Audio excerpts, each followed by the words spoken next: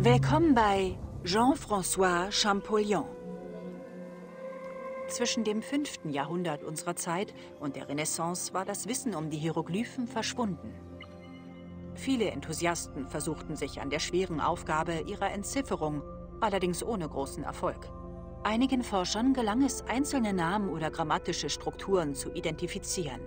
Sie konnten außerdem bestätigen, dass Kartuschen auf königliche Namen verweisen.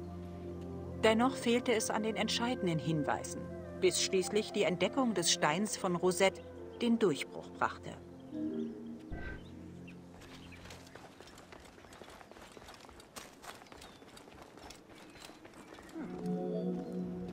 Der Stein von Rosette wurde 1799 von einem Offizier der napoleonischen Armee entdeckt. Die Stele wird auf das Jahr 196 vor unserer Zeit datiert. Die drei sinngemäß gleichen Texte wurden in Hieroglyphen, auf Demotisch und Altgriechisch festgehalten. Nach der Niederlage Napoleons im Jahr 1801 bemächtigten sich die Briten des Steins. Er wurde der Sammlung des British Museum einverleibt und ist bis heute eines der populärsten Exponate des Museums.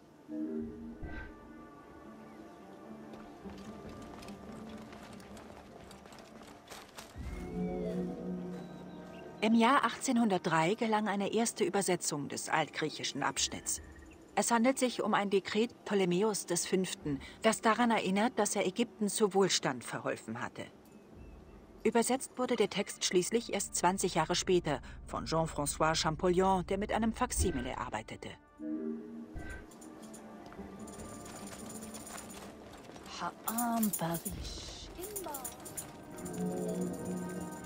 Champollion gelangte zu einer entscheidenden Erkenntnis, die das Geheimnis der Hieroglyphen lüften sollte nämlich dass es sich nicht nur um Bildzeichen, sondern auch um Lautzeichen handelte. Hieroglyphen bestehen demnach aus Lautzeichen, Bildzeichen und Deutzeichen. Letztlich also aus einer Kombination aus phonetischen und alphabetischen Zeichen und Symbolen.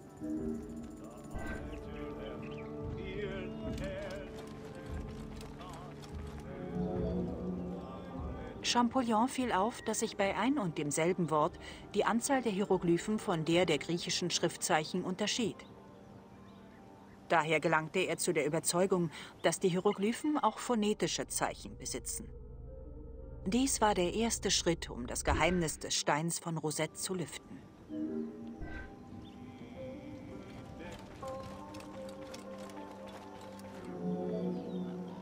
Um seine Theorie zu beweisen, begann Champollion die Namen ägyptischer Herrscher zu identifizieren und ihre phonetische Aussprache mit der griechischen Version zu vergleichen. Der Erbauer der großen Pyramide hieß mit ägyptischem Namen beispielsweise Khufu, was im Griechischen zu Cheops wurde.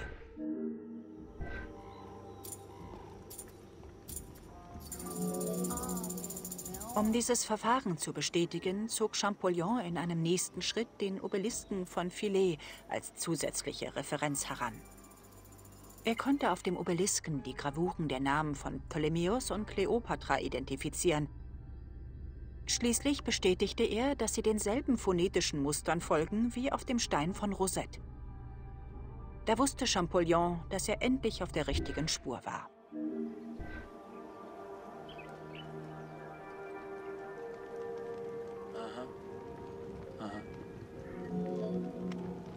Champollion beherrschte bereits mehrere alte Sprachen, als er sich mit dem Stein von Rosette beschäftigte.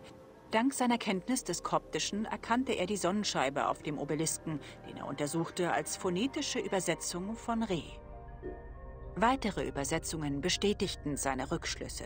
Die ägyptischen Hieroglyphen erfüllten sowohl phonetische als auch bildhafte Funktion, was heißt, dass das Symbol auch das Wort selbst bezeichnen kann.